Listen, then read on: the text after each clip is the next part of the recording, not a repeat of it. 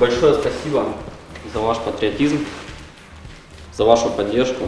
И от лица солдата, который, к сожалению, не смог сейчас присутствовать, то есть приехать, находится далеко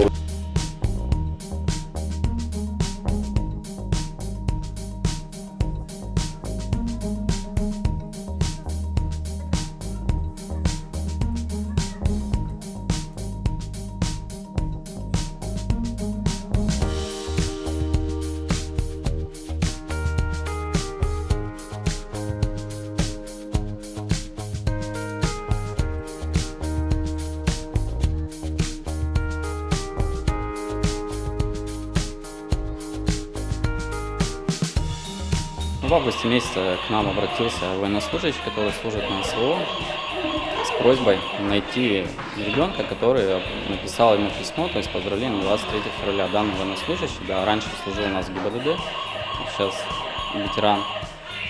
Поэтому мы долго искали ребенка, направляли в отдел образования, обращения, чтобы найти. Он просил вручить ему свои сувениры, которые он нам передал. К сожалению, он не смог присутствовать.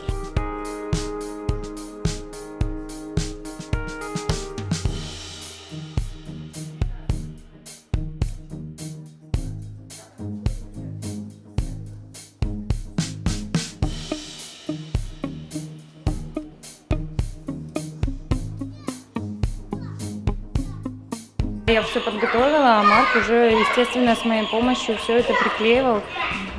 Писала, естественно, я все это подготовила я, Марк принимал участие непосредственно тоже. Своими руками он это приклеивал.